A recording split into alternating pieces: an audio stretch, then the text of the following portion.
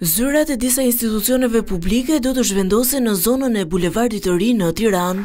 Kryebashkiaku Erion Veliaj u shpreh se një hapësirë e dedikuar do të jetë për godinën e Gjykatës së Lartë, të Prokurorisë së Përgjithshme, Prokurorisë së Tiranës, si edhe zyrat e administratës të Bashkisë së Tiranës.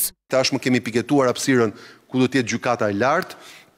Jemi duke piketuar hapësirën ku do të jetë Prokuroria e Përgjithshme dhe Prokuroria e Tiranës. Sot janë të shpërndara institucionet duke shtuar më shumë trafik edhe ecejake në qytet, ndërkohë të konsoliduara në Bulevardin e Ri ulin pak edhe presionin që ka Tirana e Vjetër me këto institucione. Kemi një plan që është në prag të miratimit për të transferuar Bashkinë e Tiranës tek Bulevardi i Ri. Në qoftë se ne jemi një nga klientët e parë ose përdoruesit e parë të asaj infrastrukture, sigurisht shtojmë besim dhe tek investitorët, po dhe tek operatorët e tjerë për t'u transferuar tek Bulevardi i Ri. Në të njëjtën zonë, shtoi Veliaj do të ndërtohet edhe Muzeu i Artit Modern. Siç kemi prurje rezidenciale, kemi dhe prurje krijuese.